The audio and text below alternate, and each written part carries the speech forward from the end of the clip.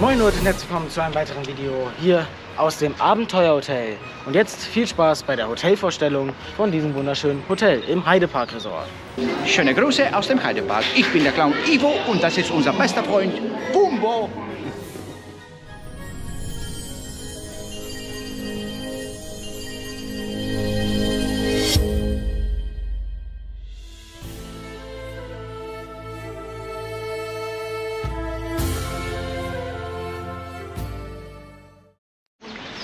Wir hatten jetzt bereits einen schönen Tag im Heidepark und beziehen jetzt unser Zimmer, also viel Spaß bei der Roomtour. Wir haben das Zimmer 325, ein Dschungelzimmer und jetzt gibt es eine kleine Roomtour für euch.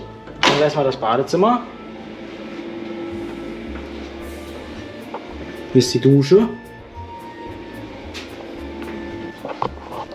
Hier hat man einen Kleiderschrank.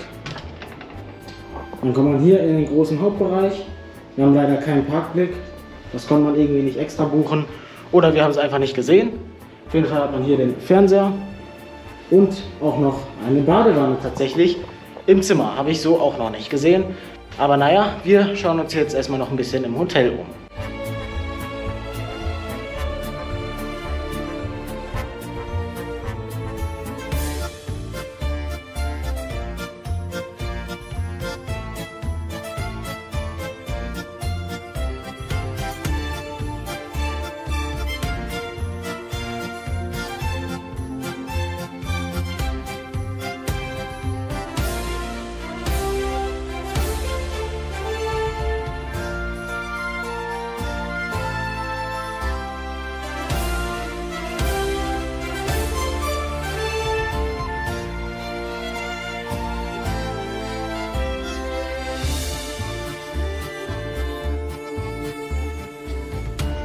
In dem Abenteuerhotel gibt es auch verschiedene Zimmer. Wir haben jetzt zum Beispiel ein Dschungelzimmer, es gibt aber auch noch Dämonenzimmer oder Drachenzähmen leicht gemacht oder Peppa Pig.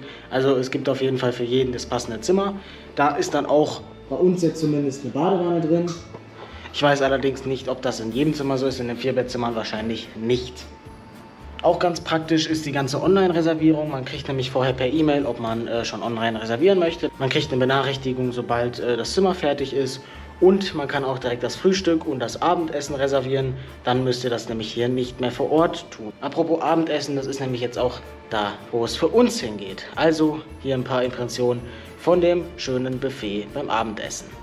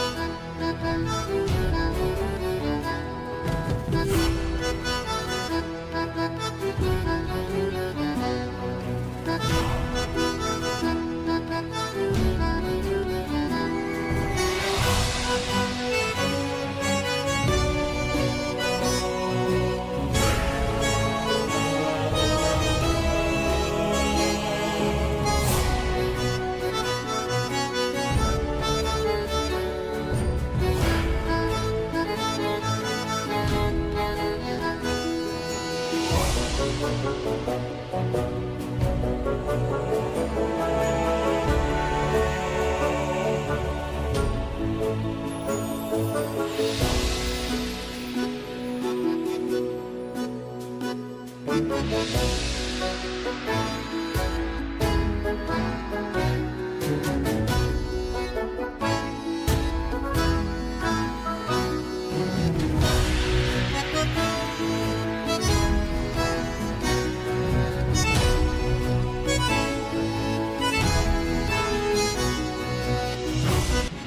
Wir kommen jetzt gerade vom Abendbuffet und das ist natürlich nicht das Einzige, was das Hotel hier zu bieten hat. Es gibt auch noch einen eigenen Parkeingang und diverse Möglichkeiten für Kinder. Beim Abendbuffet habt ihr anderthalb Stunden Zeit und könnt dann so viel essen und trinken, wie ihr wollt, wenn ihr das dazu gebucht habt.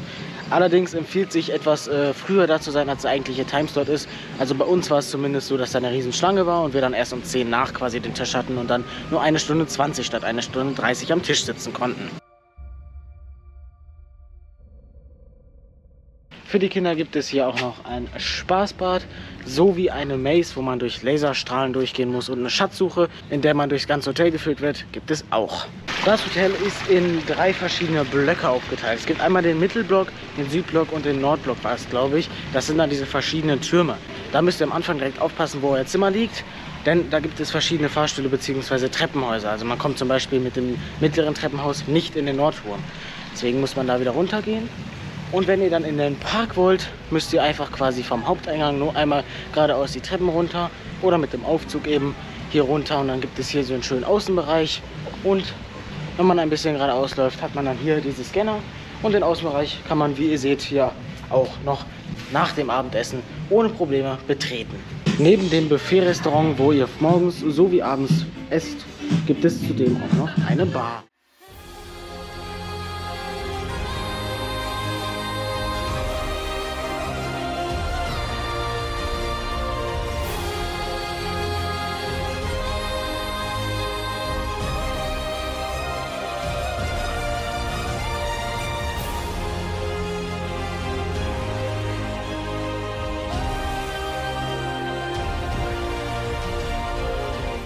Wir kommen jetzt gerade vom Frühstücksbuffet hier im Abenteuerhotel im Heidepark. Naja, es ist auf jeden Fall ganz okay, ist jetzt aber nichts Überragendes. Ist auch die Qualität ist jetzt nicht sonderlich besonders, aber jeder sollte auf jeden Fall was finden. Auch hier gilt wieder etwas früher da sein, weil sich sonst äh, wirklich Massen da hinstellen und warten, bis sie endlich einen Platz bekommen.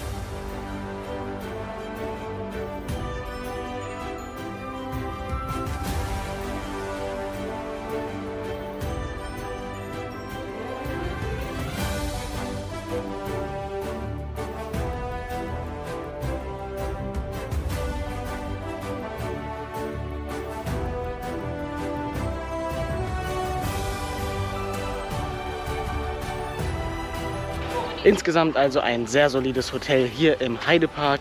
Es gibt natürlich so ein paar Punkte, die noch verbessert werden könnten. Wenn ihr noch Fragen habt, könnt ihr die gerne mal in die Kommentare stellen.